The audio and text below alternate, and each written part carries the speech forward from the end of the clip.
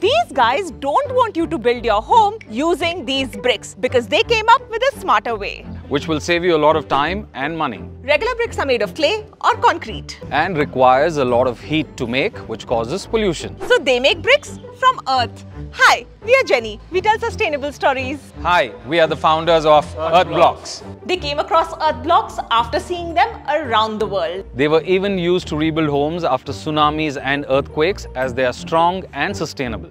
Earth blocks are made of soil with only 6 to 9% cement mixed to stabilize them. We use soil from beneath the surface like waste generated from big construction projects. They called them smart earth blocks. These come with holes for electrical conduiting, saving on construction time and labor. They come in different variations, reducing wastage and saving money. These are factory made, ensuring superior quality and finish which look aesthetic without paint or plaster. These blocks naturally keep homes and offices cool in summers and warm in winters. These make the walls breathable so you live better and feel better.